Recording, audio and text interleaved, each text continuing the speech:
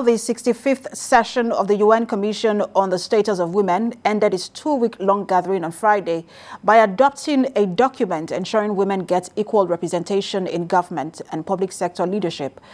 The agreed conclusions acknowledge that temporary special measures such as quotas and increased political will are needed as an enabling pathway to this goal. And joining me to discuss this is the Executive Director, Live Abundantly, Dr. Ama Onyerinma. Good to have you join us, Dr. Onyerinma. Um, when I went through um, the resolutions from that um, UN meeting, something jumped at me, which is the fact that uh, at that meeting, they observed that when you look at the COVID-19 task force across the world, um, women are absent, majorly absent. Only about 24% of those task force have women.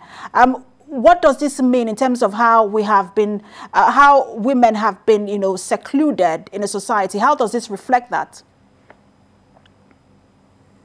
Well, thank you very much for having me. It is disheartening to see that sort of data, but let's be realistic. What the pandemic has done is to show very blatantly the disparity, the inequality, the discriminations, the biases against women in the workforce, whether you're looking at government or the public sector.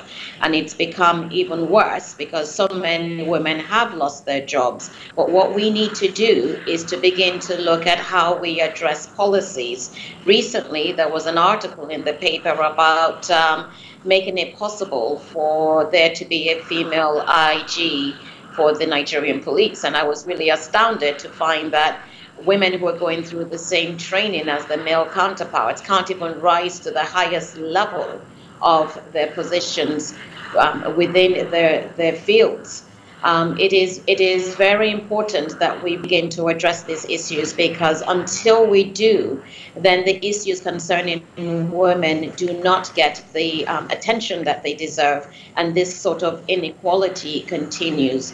Um, you know, equality is a human right; it's a fundamental right. Women have rights, and women should be attain, able to attain the highest level of office so long as they um, meritoriously have that qualities or have the qualities as well as the training necessary for those positions. So um, one of the agreed conclusions is the uh, temporary special measures, measures such as quotas um, to enable a pathway for women in governance. But we've seen, um, quote, 30%, we've seen this affirmative action over and over again being reiterated. But in most countries, um, it's still a dream and not a reality. So how do we make this a reality? Well, women need to push for this to become a reality. We have to accelerate gender parity we cannot continue to have a government where a very small fraction, seven women out of 109, are in the Senate, or um, 13, 13 women in the House of Representatives. It is very crucial that women begin to speak up and that we challenge the biases, the microaggression, and the, the discrimination that women face within the government and also in the public and private sphere. So yes, quotas are a wonderful way to sort of have affirmative action, but if you don't have the basics such as equality bills, if you don't have access to education, if you don't have access to skills training and education uh, at the highest level, um, how do you begin to have that representation? So quotas are a great way to start, but we have to go beyond that. It is high time that women are recognized for their contributions to the society as well as um, national development.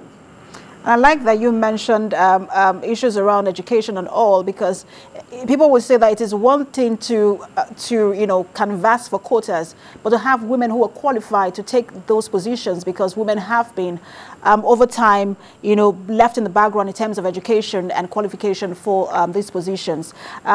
Dr. Ama Onyerinma, Live Abundantly, Director, Executive Director, Live Abundantly, thanks for talking to us. Thank you very much for the opportunity.